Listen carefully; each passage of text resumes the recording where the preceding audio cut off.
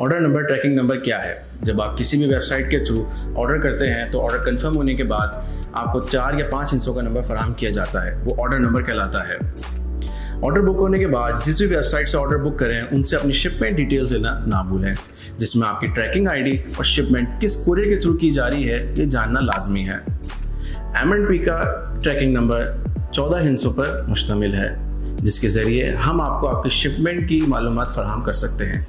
या आप खुद भी हमारी वेबसाइट www.mulfilor.com पर जाके हासिल कर सकते हैं। बगैर ट्रैकिंग आईडी के किसी भी शिपमेंट की ट्रैकिंग मालूम होना नामुमकिन है। इसीलिए किसी भी वेबसाइट पर जब भी ऑर्डर करें तो अपनी शिपमेंट डिटेल्स देना लाजमी है। उम्मीद है कि वीडियो आपको पसंद आई होगी। शुक्रिया।